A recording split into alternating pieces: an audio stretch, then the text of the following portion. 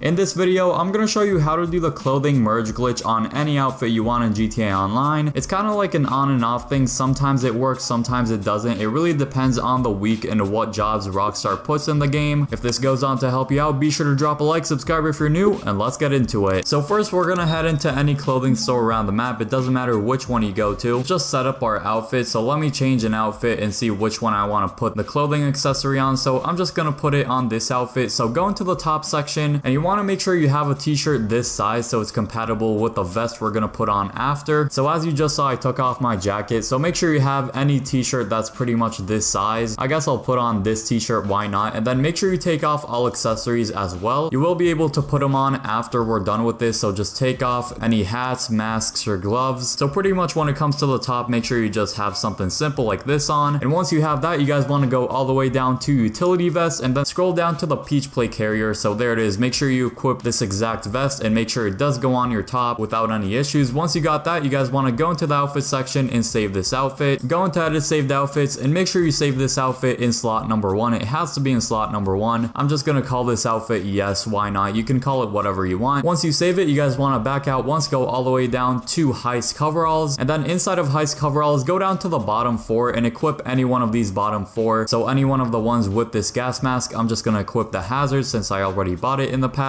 And now we're gonna head to the pier. Once you're at the pier, go to any one of the telescopes. There's a couple of them. And then we're gonna do the telescope glitch, which is extremely easy. So just run by the telescope while spamming right on the D-pad. And he should be just standing like this. And then without moving, open the interaction menu, go into style, and equip the outfit we just saved. So for me, it's called yes, go ahead and equip that. And then back out of that menu, walk away, and you should see the gas mask will merge onto this outfit, which is exactly what you want. And now head to the mask shop, which is right over here. And then on the left side, go into the top section, go into edit saved outfits and just overwrite the last save we made so make sure it still is in slot number one. Once you got that you guys want to open the interaction menu, go into style and just spam the outfit a little bit and once you got that you guys want to press pause, go into online, go into quick join or whatever it is on last gen, play job Rockstar created and then go into missions and start up a titan of a job and then once you load in make sure you have no vest on. If you have no vest then you know you're all good to go and now we're going to the nearest Ammu-Nation store which is not too far away. Once you go inside go to the right side to the outfit section, edit saved outfits and just like we did a second ago just overwrite the last save once again and make sure it still is in slot 1. Once you've done that pull up your phone and quit the job. Once you're back in free mode go back in the Ammu-Nation store and in this part you could just pick whatever you want to merge on that outfit. There's so many clothing accessories you can merge on. You can do belts, you can do badges, you can do racing gear for example. If you want to do racing gear you have to go into racing suits and then pick one of these outfits but once again there's so many different little accessories you can choose. So as an example I'm going to try to merge on the cop belt so to do that, go into Diamond Casino heist outfits, go all the way down to prison guards, and then you guys see this outfit does have this belt on it. You can choose any one of these outfits. It doesn't really matter which one, so I'm just gonna choose this one. Once you have this outfit equipped, you guys wanna back out, press pause, go into online, go into quick join, play job, Rockstar created, go all the way down to versus, and this is basically how you know if you can do it or not. You have to have a versus job to be able to do this. So if you do have any Rockstar created versus job available, that's how you know you could do it. If you don't, that means you have to wait for another week to do it. That's why this only works some of the time because there isn't always versus jobs available. There used to be a lot of them available all the time, but I guess not anymore. So then from here, just load into whichever versus job. This time it's road game. And then in this menu, it's very important that you set clothing to player owned and then invite one friend to join and then just start the job. The friend doesn't really have to do anything. He just has to load in with you and just sit in the job, run around, do whatever. In the Ammu-Nation store, you go into the gear section in the middle and then just buy any earpiece because we will need to equip one in a sec. And then this is the big important part. So once you get to selecting an outfit, go down to owned outfit, scroll one time to the right, and you should see the outfit We'll merge onto the outfit we created before. So then just go ahead and ready up. It's a little hard to see with this specific t-shirt, so it really depends what top you pick. Some tops are a little bit better. Some tops will cover some of the belt, but you can still see the keys. Once you load into it, all you need to do, open the interaction menu, go into style, go into accessories, and put on any earpiece you want. It doesn't really matter which one, just go ahead and put on an earpiece. And that just quit the job after you've done that. Then once you load into an online session, you should see you still have the belt on you on whichever outfit you chose. So from here, just go to any clothing store or just anywhere to save this outfit. This is fully customizable besides the top. I think if you change some tops, it might disappear. So you want to be a little careful with the top. But besides that, you can change the pants. You can put on any accessory you want. You can change the shoes. I'm just going to take off the earpiece and then you guys can go into edit saved outfits and I'm just going to override right, the last slot. Now you can save it in any slot you want. I just saved it in slot 1 again. And if you want to see the best clothing glitches to do for beginners in GTA Online, click the video on screen now.